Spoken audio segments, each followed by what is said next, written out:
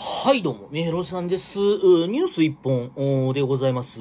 で、ヤフーニュースからなんですけども、まあ、障害者の作る商品は安いと、えー常識を変えるものづくりに挑む女性ということでですね、あの、まあ、アート、おアーティストの方が、まあ、あの、なんていうんですかね、えー障害者支援も兼ねて、えーやってる取り組みについて、えー記事になっておりますと。で、えー多分今週人権週間なんですかね、今週から来週が12月のあの、1週目か2週目か忘れましたけども、まあ、人権週間ということで、なんかいろいろ、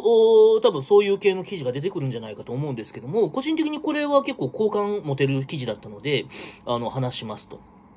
いうところなんですね。えー就労支援の B 型で、えーまあ、活動されてて、えーその商品を、まあ、言ったら、えーセルフプロデュースされてですね、えー高値で売って、えー高値で売ってって言ったらあれですけども、ちゃんとした値段をつけて、で、えー商品を発送するっていうようなことをしてて、えーそれをですね、あの、まあ、従業員に還元するとというところなんですね。で、えっ、と、まあ、就労支援の A 型、B 型とかって、えー給料めっちゃ安いんですよ。まあ、障害者雇用も、えー一定給料は安いんですけども、それよりも給料が安い。えーまあ、もちろんその、えっ、と、就労支援なので、なんていうんですかね、えっ、と、まああ、リハビリも兼ねてるというところなんです。職業体験を通じて、えーまあ、ちゃんと朝起きれるようにとか、まあ、そういう、うなんですかね、ちょっとまあ、あ医療とまでは言わないですけども、まあ、そういう役割もあるので、えー、給料低めなんですね。で、就労支援の B 型の平均時給っていうのが230円。でございますというところで、まあ、めっちゃ低いんですよ。あのー、なんていうんですかね、時給が、えー、まあ、あなんていうんですかね、本当にもう、ちょびっとしかなくて、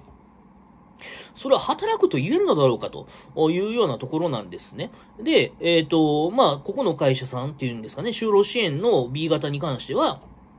その、県の、えー最低時給の933円を、えー下回らないようにちょっと頑張りますというようなところでございますと。で、えーまあ、やってることが海洋プラスチックの、まあ、まあ、言うたら資源ゴミなのか、資源ゴミっていうんですかね、わかんないですけど、そのそれを、えアクセサリーとして、えー作ってですね、えーまあ、あの、自分のところで、まあ、ブランディングして、えー売るというような形でやってますと。でも、お言うたら内職みたいなことを、えーやるにあたっては、まあ、いろんな工程を、えーまあ、言うたら、あーなんですかね、えーその障害者の方ができるかって言ったらできなかったりするんで、その、結構小分けにしてね、えー引き受けたりしてると、やっぱ単価がすごい安くなるので、えーそこのところを、まあ、工夫しながらですね、あのーいろいろやってるんだよっていうことで、まあ、単にブランド作りもそうなんだけども、それ以外に、その作業所で働く方の負荷もそこまで大きくならないようにしてるというようなところが紹介されてます。で、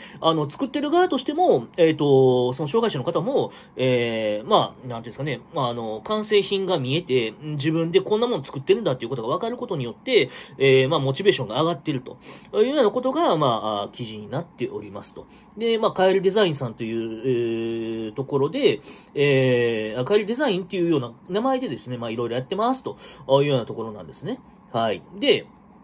えー個人的なところで言うとですね、まあそういうものが広がっていくと、あのーまあ言ってしまえば商品が売れると、えーまた、あそこで、えー働く人にとってはですね、まあちゃんとお給料ももらえるっていうことなので、生活も安定しますよね、というところで、あの、まあまあ企業活動と一緒ですよね。えーまずそこの、言うたら、会社さんの売り上げが立つことによって、えー従業員に支払うお金もできて、で、えーまあ言うたら消費にもつながり、消費というか、まあ生活基盤が安定することにつながって、まあ周りがみんな幸せになっていくよっていうところなんで、まああの、そこのところ、えーを、まあ今税金とか、あの、補助金で賄ってるところが、まあ多いのが実態だったり、あるいはもう赤字出し続けてるっていうところが実態だったりするんですよ、というところの中で、まあなんかこういう、えーなんですかね、ブランディング、えーと、まああどうなんですかね、まあネットで売ってはるっていうところと、えっ、と、まあこういう、うなんていうんですかね、えーまあ就労支援とか、まあ言うたら障害者が作ったものを、まあ支援しようっていうような動きがあるんで、まあ百貨店とかで、えー売られていたりとか、えーするようになってますっていうようなところなんで、あのーなんかそういう、まあ別に、あのー弱者救済っていうわけではないですけども、えーまあその SDGs と言いますか、その社会貢献活動をやりたがってる会社さんともこうコラボしながらですね、まあ、売り上げを、えー、立つ術を作って、で、あの、商品が出回ることによってですね、あの、まあ、幸せになるところがあるというか、まあ、そういうような活動っていうのは、まあ、どんどん広がればいいなと思ってますし、えー、まあ、障害者雇用もそうなんですけど、まあ、おじさん自身もそうなんですよ。だから、えっ、ー、と、障害者雇用になると、給料がくんと下がるんで、今なんかその、まあ、ぶら下がってるような状態ではあるんですけども、もうそうじゃなくて、えっ、ー、と、自分で稼げるようになったりしたらですね、まあ、障害ははあるけれども、えっ、ー、と、ある程度収入があるというんであれば、自分のその、自尊心みたいなものもやっぱ満たされますし、自己肯定感も上がりますしというところで、まあ、障害とうまく付き合っていくことができる、えー、まあ、言ったら、うん、基盤ができるというようなところなんで、まあ、おじさん自身は今、だから YouTube で、えー、こうやってお話ししながらですね、え再生回数とか増やしながら、今、自尊、自尊心とか自己肯定感を積み上げてる、えー、あるいはその経済基盤を、あ